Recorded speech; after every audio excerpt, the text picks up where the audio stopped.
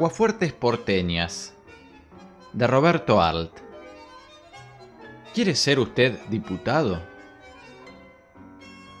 Si usted quiere ser diputado, no hable en favor de las remolachas, del petróleo, del trigo, del impuesto a la renta. No hable de fidelidad a la Constitución, al país. No hable de defensa del obrero, del empleado y del niño. No. Si usted quiere ser diputado, exclame por todas partes. Soy un ladrón. He robado. He robado todo lo que he podido y siempre. Enternecimiento. Así se expresa un aspirante a diputado en una novela de Octavio Mirbeau, El Jardín de los Suplicios. Y si usted es aspirante a candidato a diputado, siga el consejo. Exclame por todas partes, he robado, he robado.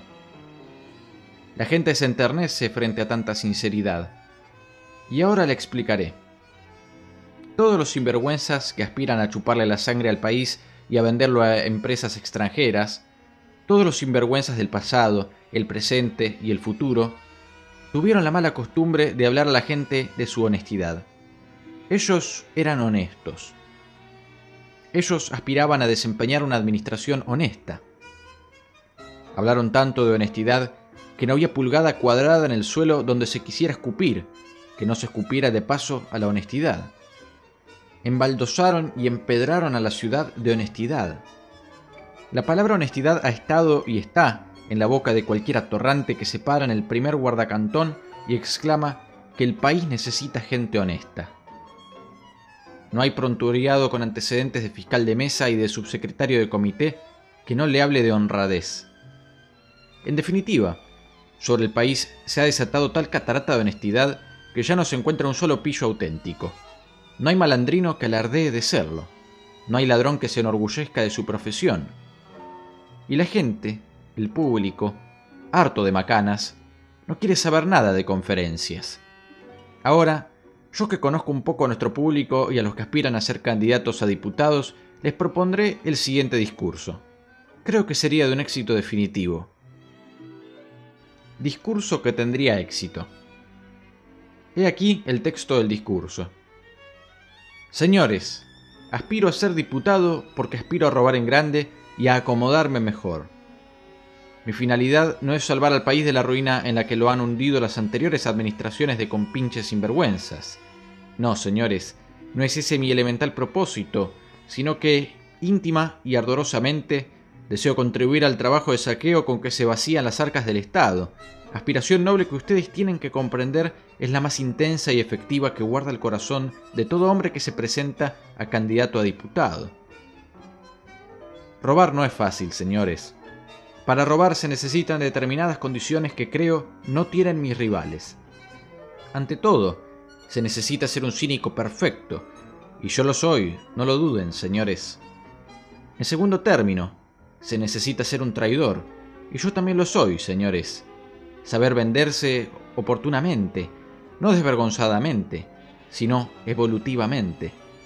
Me permito el lujo de inventar el término que será un sustitutivo de traición, sobre todo necesario en estos tiempos en que vender el país al mejor postor es un trabajo arduo e ímprobo.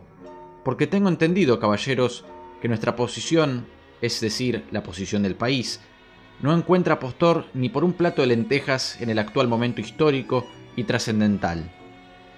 Y créanme, señores, yo seré un ladrón, pero antes de vender el país por un plato de lentejas, créanlo, prefiero ser honrado. Abarquen la magnitud de mi sacrificio y se darán cuenta de que soy un perfecto candidato a diputado.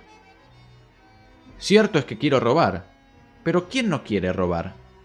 Díganme ustedes quién es el desfachatado que en estos momentos de confusión no quiere robar. Si ese hombre honrado existe, yo me dejo crucificar. Mis camaradas también quieren robar, es cierto, pero no saben robar. Venderán al país por una bicoca, y eso es injusto. Yo venderé a mi patria, pero bien vendida. Ustedes saben que las arcas del Estado están enjutas, es decir, que no tienen ni un cobre para satisfacer la deuda externa. Pues bien, yo remataría al país en 100 mensualidades, de Ushuaia hasta el Chaco boliviano. Y no solo traficaré el Estado, sino que me acomodaré con comerciantes, con falsificadores de alimentos, con concesionarios. Adquiriré armas inofensivas para el Estado, lo cual es un medio más eficaz de evitar la guerra que teniendo armas de ofensiva efectiva. Le regatearé el pienso al caballo al comisario y el bodrio al habitante de la cárcel, y carteles, impuestos a las moscas y a los perros, ladrillos y adoquines. Lo que no robaré yo, señores. ¿Qué es lo que no robaré? Díganme ustedes. Y si ustedes son capaces de enumerarme una sola materia en la cual yo no sea capaz de robar, renuncio ipso facto a mi candidatura. Piénsenlo, aunque sea un minuto, señores ciudadanos. Piénsenlo. Yo he robado. Soy un gran ladrón. Y si ustedes no creen en mi palabra, vayan al departamento de policía y consulten mi prontuario. Verán qué performance tengo. He sido detenido en averiguación de antecedentes como 30 veces, por portación de armas, que nos llevaba otras tantas. Luego me regeneré y desempeñé la tarea de grupí, rematador falluto, corredor, pequero, extorsionista, encubridor, agente de investigaciones, ayudante de pequero porque me exoneraron de investigaciones. Fui luego agente judicial, presidente de comité parroquial, convencional, he vendido quinielas, he sido, a veces, padre de pobres y madre de huérfanas, tuve comercio y quebré. Fui acusado de incendio intencional de otro bolichito que tuve. Señores, si no me creen, vayan al departamento. Verán ustedes que yo soy el único entre todos esos hipócritas que quieren salvar al país, el absolutamente único que puede rematar la última pulgada de tierra argentina.